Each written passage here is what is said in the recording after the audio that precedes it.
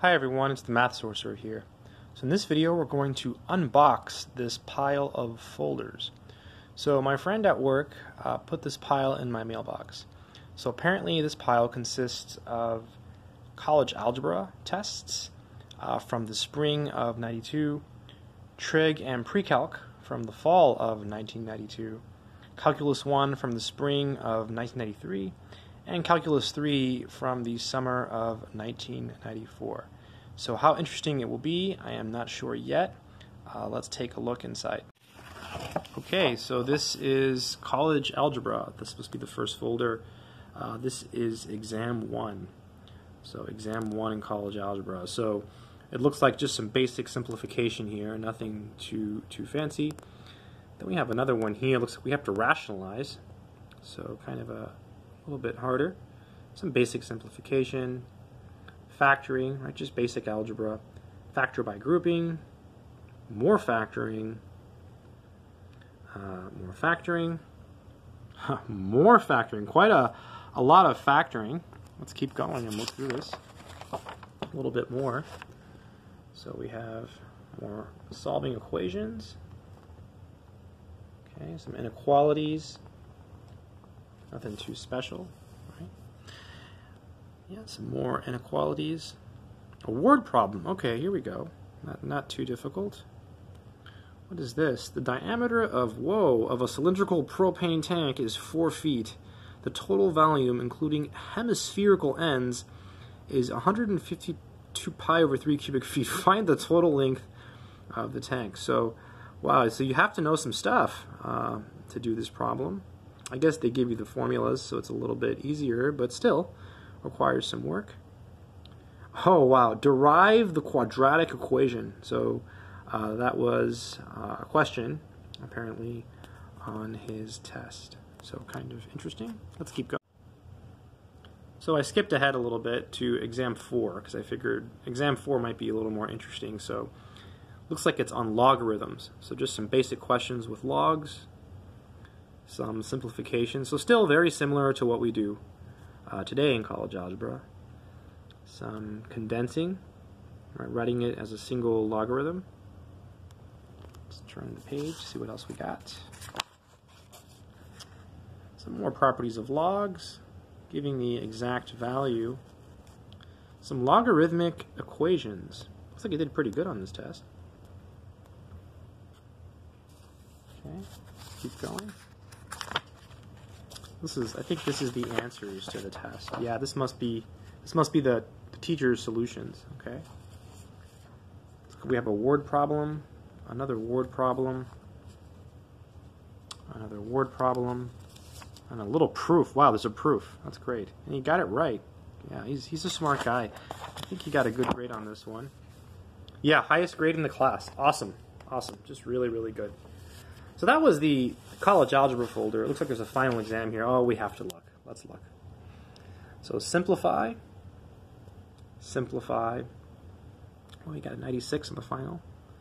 We have an equation, an inequality, center radius, function composition. So far, all very, very standard type stuff, right? Again, so very similar to what we do uh, today in college algebra finding the domain of some functions, finding a polynomial, okay, expressed in standard form, and then I, I, can't read what that says. Oh, name and graph. Okay, wow, hyperbolas. So, so they were doing hyperbolas in college algebra apparently in the 90s. Interesting. So, that's a topic uh, that's typically done in pre-calc now. And I guess this is his scratch work. I'm not sure what that is. Solve for x some more logarithmic stuff. And what's this? Oh, this is a word problem down here. Okay, so then not so bad. So the final wasn't uh, too bad. So overall, uh, it looks like uh, college algebra um, is a little bit harder. Okay, so let's go to the second folder now. Um, I have not opened this yet either. And this folder is pre-calculus. It says pre-calculus homework. So it looks like we have some papers here, some sine functions, some folded papers here. It's probably just homework. Here's the first test. let's let's skip ahead to like a future test. So let's see, that's exam one. I'll try to keep these in order for my friend. Exam two. See if I can find another test that's a little bit further ahead. Here we go. Exam four. Exam exam four pre-calculus. So let's see. Determine the angle theta in quadrant two such that sine of theta is three over seven. Okay. All right. Then we have some other questions here. Wow. Wow. So this is this is interesting. So it's pre-calculus and they're doing trig. So I guess back then um, they did trig in the pre-calculus course. There was no trig course. Pre-calculus was just like pre-calculus and trig. So it was like both uh, combined. This is pretty hardcore uh, for a pre-calc class because for one, it has trig in it. And honestly, the questions, I mean, they may not be super hard, uh, but it is quite a bit. So I guess that's the whole that's the whole fourth test. And so yeah.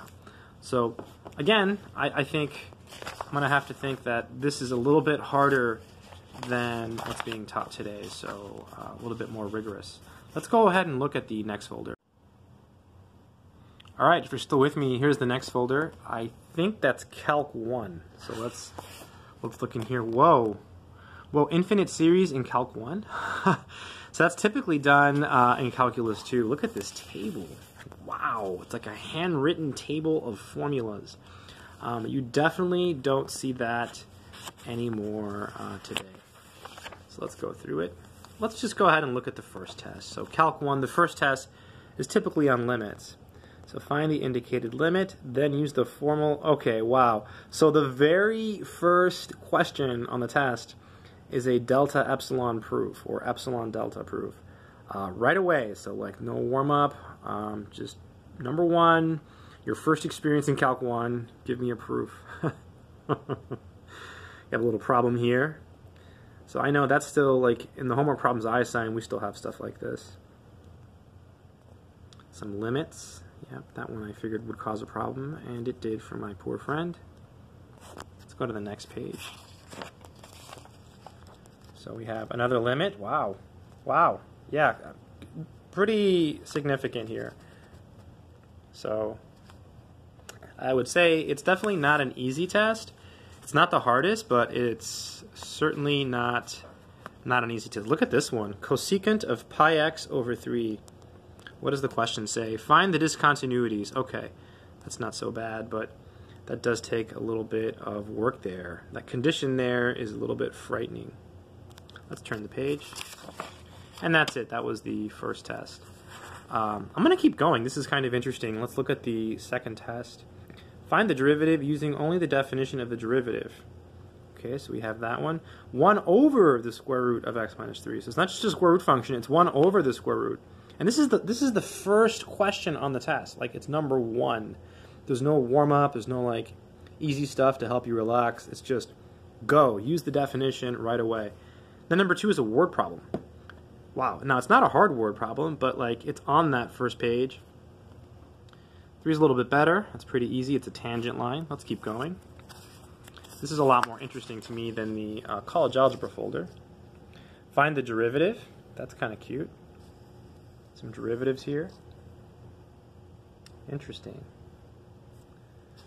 Find the, I think that's the, the second derivative. Yeah, second derivative. Some implicit differentiation problems. That's an easy one.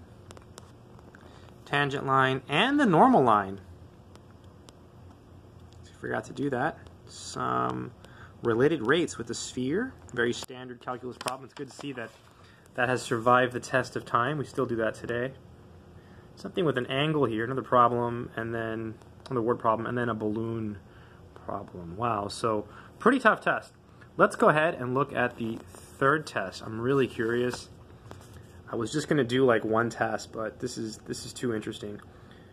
For the function x cubed minus 12x, find the absolute and relative extreme values. Write none if none exist. Okay. All right, so that's quite interesting. That's number one. So, you know, it's a lot of thought right when you sit down. You do have to really think and Usually, uh, I like to put something you know easy on a test on the first page, like the first problem at least, to help people relax. Mean value theorem problem. Mm, this is nice. They're making him explain. All right, they're making him explain. That's very, very good. Let's turn the page. It's going to just keep going through it in one uh, motion without stopping the video. Let's see here. What's this? The function g is continuous on negative 2, 1 and differentiable on, okay, so it's a mean value theorem problem. Another one here with an explanation, right, requiring an explanation. Some more conceptual stuff. Construct a function f, wow. Another mean value theorem problem. Some asymptotes. This is a pretty tough test. This one wants a graph. I guess my friend didn't do it. um, compute the limits. Yeah, pretty tough stuff. And I hope that's it. No, no, there's, there's another page. There, there's more here. An open storage bin with square base. Okay, a word problem. And then another word problem. Very tough test. Very, very tough. This is Calculus 1, uh, Exam 3. He didn't do as well on this one. But, I mean, honestly, you know, I can't blame the guy. That was a pretty, pretty tough test. He's actually a really smart guy. Um, Calc 1, Exam 4. Use Newton's method to approximate a zero. Wow, okay. That's pretty good. Another Newton's method problem with a tangent function. Beautiful, beautiful stuff. I mean, just great. Already, the difficulty, you know, it's pretty good. Simpson's rule. Wow. On, on the second page, you got to use Simpson's rule. I know people who, uh, at certain schools, uh, there's people who don't even teach Simpson's rule. Like it's, it's a skipped topic. Um, it's on this test. I usually cover it, but I, I personally don't don't test on it. Trapezoid rule. There it is again. So something else that's often overlooked uh, nowadays. Find each family of antiderivatives. I love how that question is worded. Um, it's just it's just so old school, you know. Not just like find the find the integral. No, find the family of antiderivatives. Notice the really poor typesetting, the little tiny integral sign. Lots of integrals. Fundamental theorem of calculus to find an area. So far, this one's not so bad, actually. Yeah, this one's not so bad. I think this test was a little bit easier than the other ones. Oh wow, exam five. So there's there's a fifth exam. So look at this one. Find dy dx. So some derivatives here. Pretty interesting. Some more derivatives. Quite a few, actually. Quite a few derivatives. Ooh, x to the x. That's a fun one. I like that. 2x to the 3x minus 2. That's cool. Some integrals. Not so bad. That one's kind of annoying. You have to use um, synthetic division or long division for that one, which he used synthetic for. That's pretty good. Just left it blank. Shouldn't laugh. That's I can see that. Uh, yeah, being problematic. That's a nice one. Yep, should have made the u substitution there. That's where that's where the one half comes from. Nice little problem. Some definite integrals. Quite a long test, right? Quite a, a, a bite of work. And there's still another page, right? There's still another page here. Find the area. There's a there's a word problem here. And then there's another word problem um, here. So this is a really interesting folder. I think so far this is my favorite. What's this? Oh, there's an extra credit question, EC. So regarding a projectile, and then something here. So wow, that was that was an experience. Uh, I'm really glad um, I looked at that folder. So that was the that was the calculus folder. Um, really, really interesting. Uh, much, much harder uh, than um, most most calculus classes. My calculus class is pretty tough, like, uh, but this one had some stuff that I don't normally do. Now that being said, I do do some stuff that's harder that is not in these uh, in these tests. So I'm going to stop the video and let's go to the next folder. Okay, so let's keep going. Let's go through this last folder. So nothing here so far. Let's see what this is. We have some just some integrals, so nothing uh, fancy here integration by parts. Right, so regular standard stuff. Right. So let me uh, close this. We have some vector stuff. Looks like this is Calculus 3. Is there a name on the folder? Let's, let's see. Yeah, Calc 3. Yeah, this is Calc 3. So you have some Calculus 3 here. Let's, let's go further into it. Let me just skip some pages here and we'll, we'll focus on one. So more Calc 3. See if we can get further in.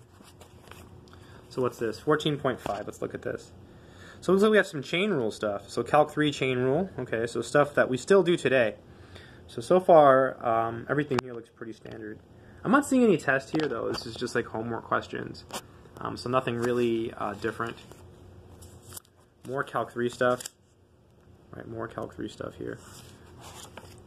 Some more, more stuff here. Vector valued functions. Way deeper into Calc 3, uh, looks like we have, oh, Lagrange multipliers. That's what this looks like. Yeah. Yeah, we have to maximize something according to a constraint. So it looks like uh, he's doing Lagrange multipliers. Yeah. It's a good topic. I, I just taught that uh, last uh, last summer. Yeah, it's pretty good. Actually, no, he's using the uh, second partials test here. Right, so, yeah. Right, he's using the second partials test in that case. Just maximization, minimization problems. There, there's the Lagrange multipliers. As you see that, that vector equation that you use for Lagrange multipliers. Skip ahead. And that's it. So overall, um, really interesting stuff. I, I, personally found this enlightening. At least I did. Um, I do think that the Calc 1 and the pre-calc and the calc was uh, quite challenging. So interesting look into the past. Uh, handwritten tests, uh, really old school. That's it. Thanks for watching.